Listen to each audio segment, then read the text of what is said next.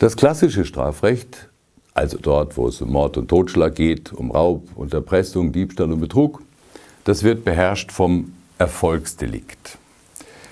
Das sind Straftatbestände, die erst dann greifen, wenn ein Erfolg eingetreten ist.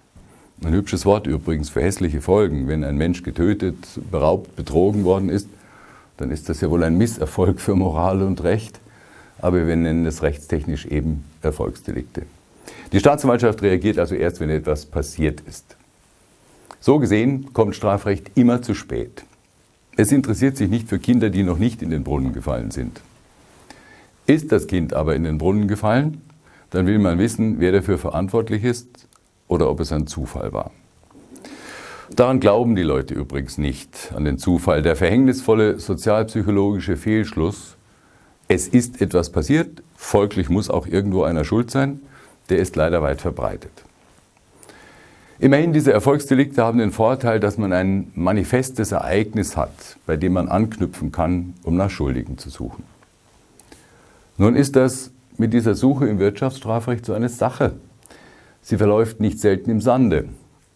Und dabei meine ich noch nicht mal den Sand, den irgendein geschickter Verteidiger ins Getriebe der Strafverfolgungsmaschine gestreut hat.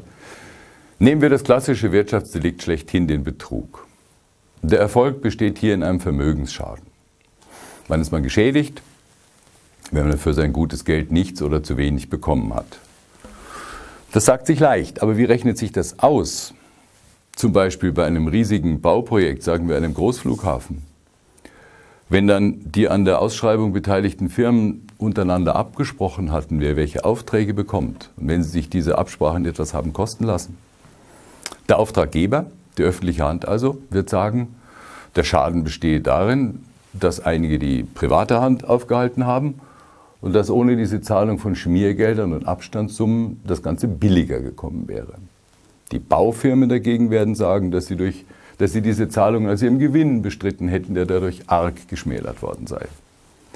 Stichwort Ausschreibungsbetrug, ich komme darauf zurück. Ich möchte aber zunächst erst ein anderes Stichwort zum Schaden beim Betrug aufgreifen, Subventionsbetrug. Wo ist hier der Schaden? Eine Gegenleistung wird ja bei Subventionen nicht erwartet. Wer die Subvention vergeben hat, ist enttäuscht, wenn sie ihren Zweck nicht erreicht. Und darin allein kann der Schaden bestehen.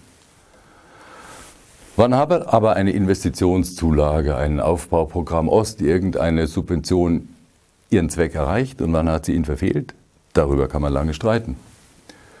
Und dann wird im Prozess der schließlich angeklagte Subventionsnehmer zwar zugeben, dass leider etwas schiefgelaufen sei, aber er wird umso energischer bestreiten, dass er jemals daran gedacht habe, jemanden zu schädigen. Der Gesetzgeber hat aus diesen Schwierigkeiten die einfachste denkbare Konsequenz gezogen. Wenn es so kompliziert ist, den Schaden zu bestimmen, noch schwieriger, ihn vor Gericht festzustellen und nahezu aussichtslos dann auch noch den Schadensvorsatz zu beweisen, ja, dann muss man eben einen neuen Tatbestand schaffen, in dem das Merkmal des Schadens einfach nicht mehr vorkommt. So ist es geschehen. Zum Betrug gehört, dass der Täter erfolgreich täuscht, sodass sein Opfer sich irrt und deshalb zu seinem eigenen Schaden eine Vermögensdisposition trifft.